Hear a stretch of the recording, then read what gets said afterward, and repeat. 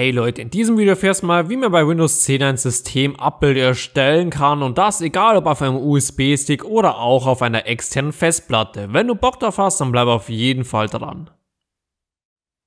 Zuerst einmal müssen wir eine externe Festplatte bzw. auch einen einfachen USB-Stick an unserem PC anschließen, welcher natürlich genug Speicherkapazität haben sollte und vor allem auch am besten leer ist.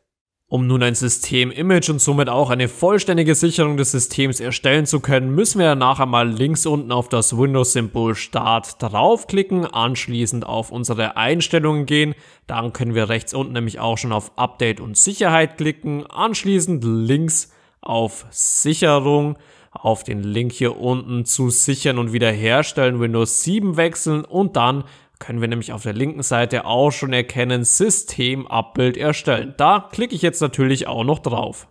Nach einer kurzen Zeit wird auch schon automatisch unser USB-Stick bzw. unsere externe Festplatte ausgewählt, auf der das Ganze abgespeichert werden soll. Wir können es natürlich auch noch jederzeit abändern. Bei mir passt es aber soweit, weswegen ich einmal hier unten auf weiterklicke. Anschließend kann ich noch schauen, welche Laufwerke ich jetzt wirklich in die Sicherung mit einschließen möchte. Bei mir passt das auch, weswegen ich wieder auf Weiter gehe.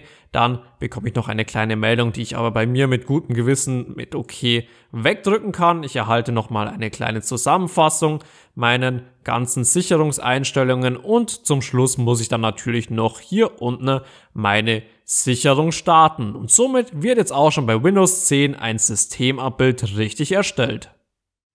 Wenn du dir für zu Hause übrigens eine neue externe Festplatte bzw. auch einen USB-Stick, egal mit welcher Speicherkapazität zulegen möchtest, dann einfach mal auf den entsprechenden Link unterhalb des Videos klicken und du kommst direkt zu Amazon zu den verschiedenen Produkten. Falls dir das Video gefallen und auch weitergeholfen hat, kannst du mir gerne einen Daumen nach oben geben und es einmal unter dem Video in die Kommentare reinschreiben. Außerdem kannst du meinen Kanal noch hier oben kostenlos abonnieren, um kein neues Video mehr zu verpassen.